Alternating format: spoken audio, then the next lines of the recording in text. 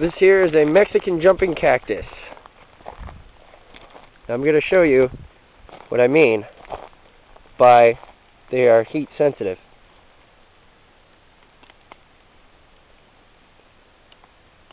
See that? You see that? How quick it was to jump off? Now I can't get the fucker off my shoe, damn it. Look at that.